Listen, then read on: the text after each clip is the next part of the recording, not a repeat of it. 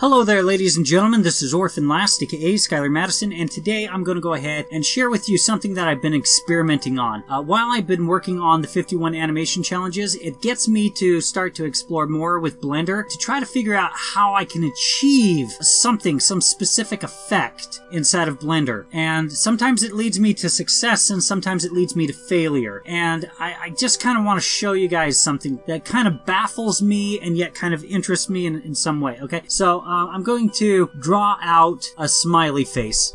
Just really basic, really simple, okay? So here's the thing. I need to go into object mode, okay? And I press 7 and I move my camera to a right angle to my animation and I press RZ and type in 90, okay? RZ, which is rotate on your keyboard and Z for Z axis, rotate on the Z axis, and then you type in 90 on your numpad for 90 degrees, okay? And we can see that the camera is no longer facing it from this point of view. It's now facing it this way. So if I press zero to get into the camera's point of view, we are seeing the narrow side of our animation. And the idea that I could possibly even remotely ever see the narrow side of an animation that I may have potentially spent hundreds of hours animating does not sound appealing to me. And, you know, the idea of, you know, yes, you can draw objects in three-dimensional space inside of Blender. Like, if, if I wanted to draw a cube, let me go into uh, draw mode real quick. Uh, I need to select my strokes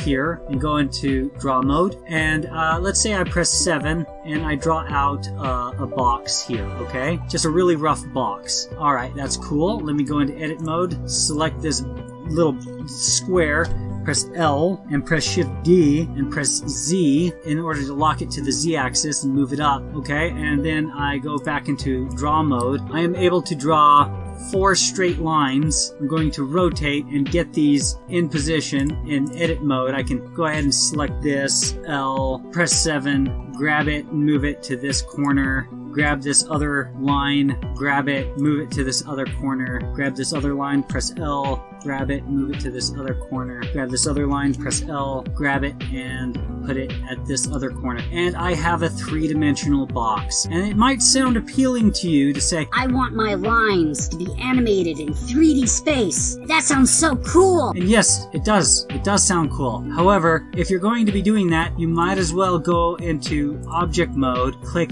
add mesh, and add a cube. Okay, it's a lot faster that way. And make drawing out your backgrounds to me it just seems like in 3D space it's going to look like a 3D model even if it's just a series of lines. So who cares if it's a 3D model?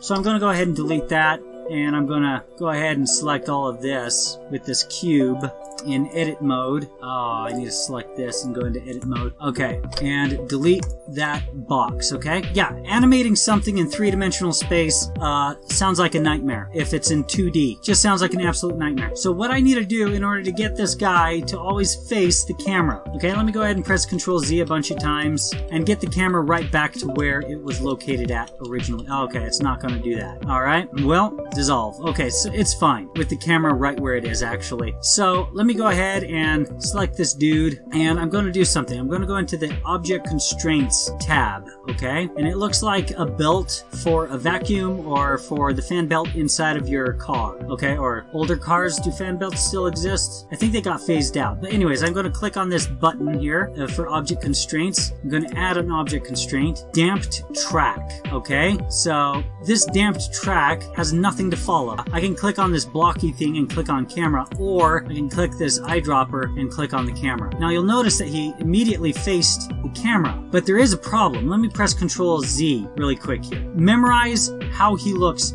from this position here, okay? And let me flip to the narrow end and then press Control Z. Do you see it, the difference? Did you see the problem? Let me press Control Shift Z to redo it. Do you see the difference? Okay, Control Shift Z to redo. The difference is that this little curly section of his smile is on the right side now. Whereas when I press Control Z, his smile is on the left side. So let's press Control Shift Z in order to redo it. Okay, so the damped track is fully applied to the camera. Let's click on negative Y. Okay, so now he's just fine. And when I grab my camera in object mode, if I move him, move the camera over here 90 degrees, he follows. If I follow him another 90 degrees, he follows. Okay, so now we've just we've just established that we can use a 180 degree rule with this technique. However, this does start to fall apart at some point, okay? And notice how when I move him up, my smiley face man is looking up with my camera, okay? regardless of if the camera's pointed at it or not. So that's that's something that's kind of cool. So let's let's keep this here and let's just move this. Okay, so so far so good. All right, so let me go ahead and move it more so past the 180 degree mark, and we start to see that he's doing a front flip or something. It's it's weird. He starts to flip upside down, and it's not because uh, uh of where I, I position the camera. It's just that he starts to rotate. So when you do this kind of billboarding, it's really quick it's really easy, but it only works for the 180 rule. You can, you can actually get it to work a little bit above 180 degrees, but you only want to use the 180 degree rule. Now, if you guys don't know what the 180 degree rule is, there is an excellent video about the 180 degree rule. It is a rule that deals with how to make a scene, how to direct a scene with cinematography in a way that will not confuse your audience. So in 90% of the situations, this damped track object constraint will be the primary thing that you use, I think. I really do think that it will be. But this is what I'm prototyping and trying to figure out. However, I would like to know how to get this thing to work a little bit better. Because like I, have had some weird behaviors out of this where I've actually uh, just uh, you know if I go into edit mode real quick here let me just show you some weird behavior. Now if I if I have him selected here and I select this frame and press shift D and move it over to frame 160 let me click this and go 160 down here. Okay so the animation is going to be full 160 frames. So I'm going to select both of these frames and have my uh, timeline cursor cursor somewhere in the in-betweening range, and I'm going to interpolate selected strokes and just hit sequence, okay?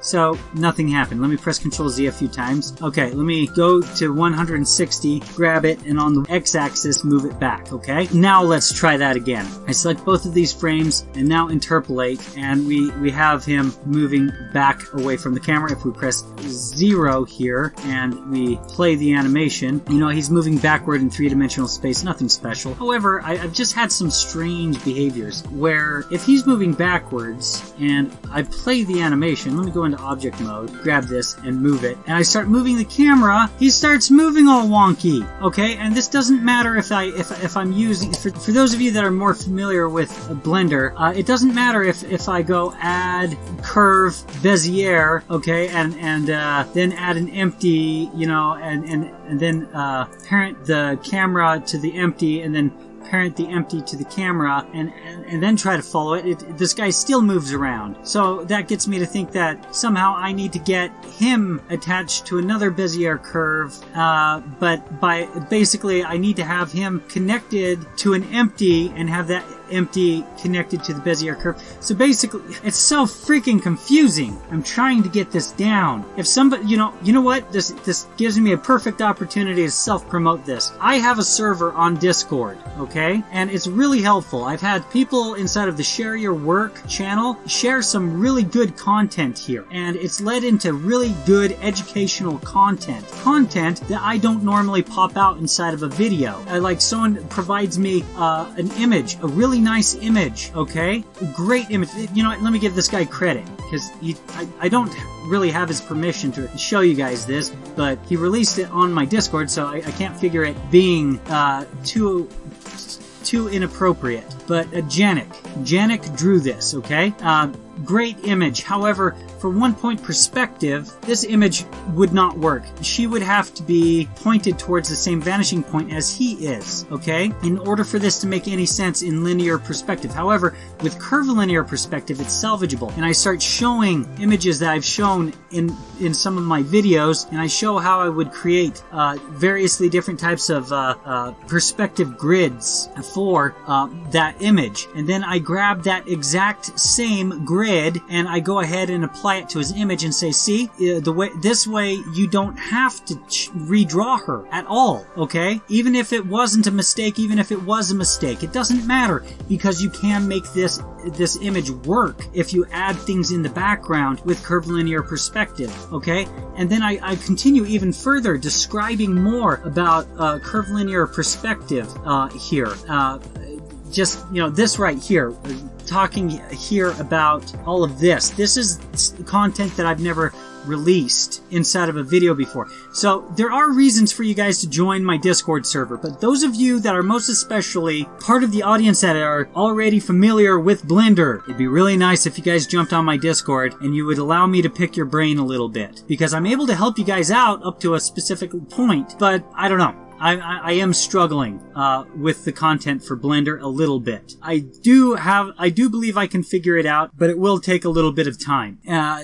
but that in that time, I don't plan on it interfering too much with my Blender content and, and how often it's being released. Anyways, this video's plenty long. And I, I, hope you guys enjoyed this video. I hope you guys found some educational use for it. Yeah, Anyways, guys, that pretty much concludes it for this video. If you guys enjoyed it, please feel free to like, share, and subscribe. And if you guys would like to get more notifications from me, feel free to click on the bell or go ahead and follow me on Twitter or go ahead and follow my Discord. It's in the video description below with my Twitter. If you'd like to support my channel, there's a picture of my mascot in the upper right corner right now. That leads to my Patreon. Any support would be much appreciated. If you'd like to see more of my content, click on anything else that's appearing on the screen right now. Thank you very much for your time.